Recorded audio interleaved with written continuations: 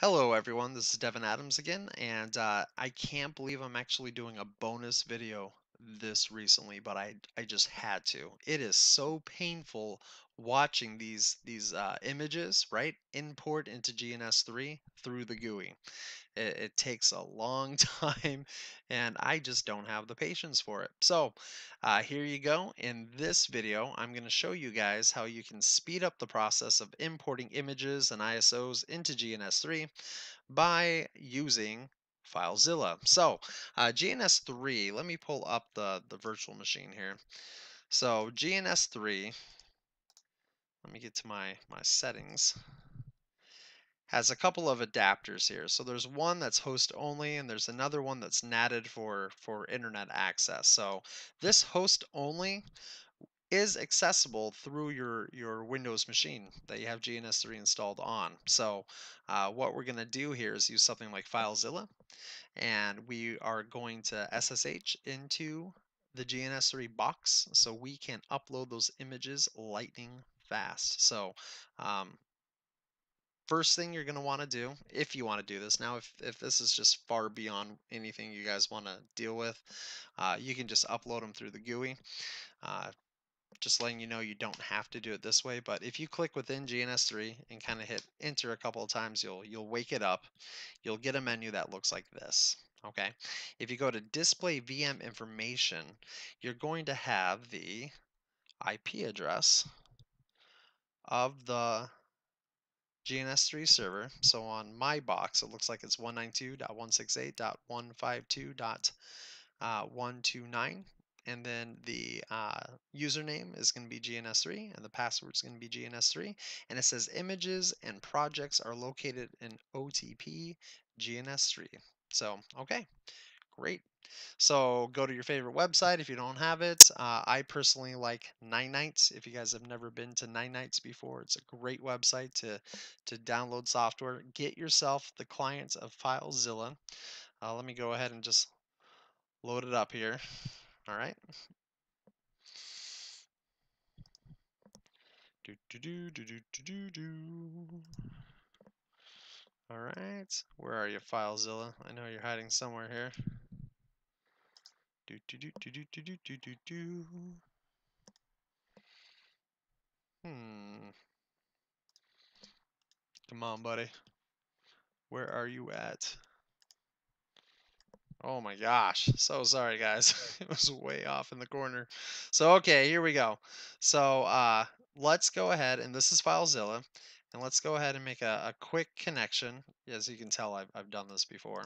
So I'll go to new site, and I'll just call this thing uh, 192.168. I already forgot because it's awesomely late. 152. All right, 152 and 2129. Don't forget, it's going to be port 22. Okay, the protocol is going to be SFTP, and you're going to have a normal password, and it's going to be GNS3, GNS3. There we go. And I recommend that uh, you you do it through here, so you can save it, right? So let's go ahead and hit OK. And we'll drop down and connect. This is uh, the SSH keying. We'll hit OK. And we are in. All right, excellent. So if you remember, uh, if you come back to the, the VM, it says images and projects are located in opt GNS3. So let's go ahead and get there. So I'm going to backtrack here until I get to the root. All right, there's opt, there's GNS3, and oh, there are our images, QEMU, and those are the ones that I've uploaded already. So once again, instead of taking the painful task of, of importing these things individually, you can now come over to wherever you you had yours. So mine was, let's see here, that was a big dingling. Users, uh, Devin, downloads, there we go.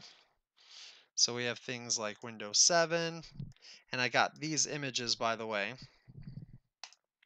I got these images, by the way, um, when I went through the uh, the templates, right, in the GUI, and it said download.